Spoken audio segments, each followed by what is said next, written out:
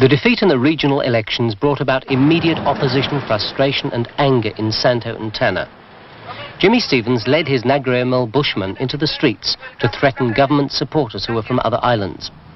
The message was clear. You're foreigners. Leave Santo. Go back home or else. Standover tactics were used in Tanna as well. Trouble flared up again in February when Jimmy Stevens renamed Santo as the Republic of Vemerana and declared its separate independence. The following month, the government named the date of New Hebrides' independence as July 30th, 1980.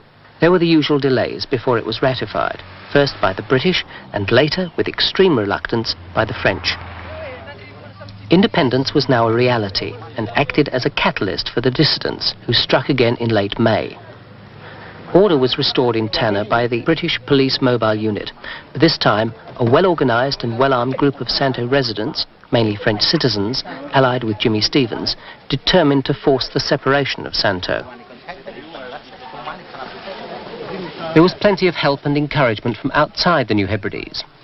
The American-based Phoenix Foundation invested at least a quarter of a million dollars to supply Vemerana with a pirate radio and even its own passports, coinage and constitution.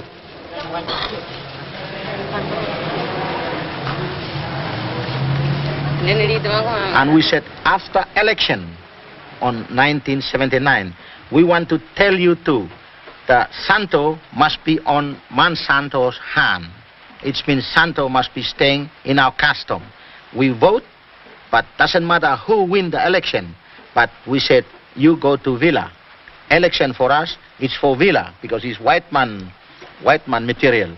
But we say we stay in the custom. We want to stay under our custom. Santo, with all the island around Santo, must be stay with Nagriamel. And on 28, custom said, no, it's a time now. We give three time warning, nothing done. We take back our, our property down where the Walter Lini is governing.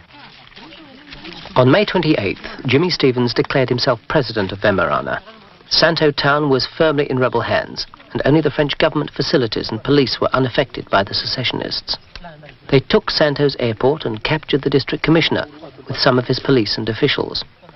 Government employees were terrorized, their homes and offices sacked, the British prison emptied and English language schools closed.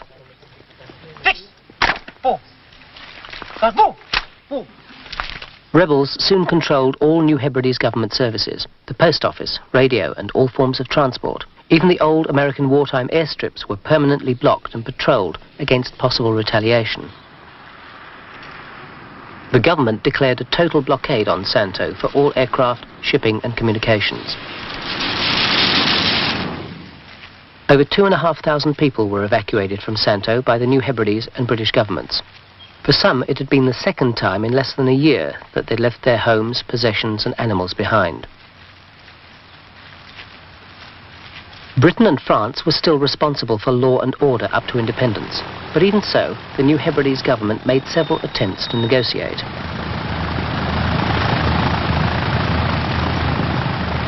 Most of their efforts even to meet the rebels were rejected, and the chief negotiators, Barak Sope and Salam Molisa, were turned back several times.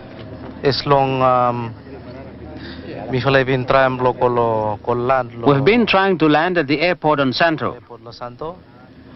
Before we left, we had received word that they would give an answer at 2 o'clock for us to land. We went and flew over Santo for about half an hour.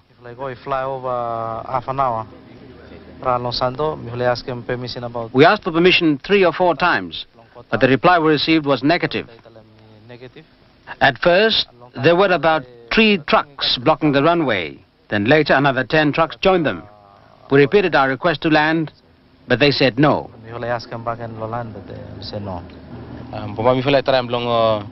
We will try again through the radio to contact Jimmy direct. If he wants to talk, as far as the government is concerned, we are willing to sit down. As far as government, go. If they don't want to meet us, that's their business. But as far as the government is concerned, we would like to try again.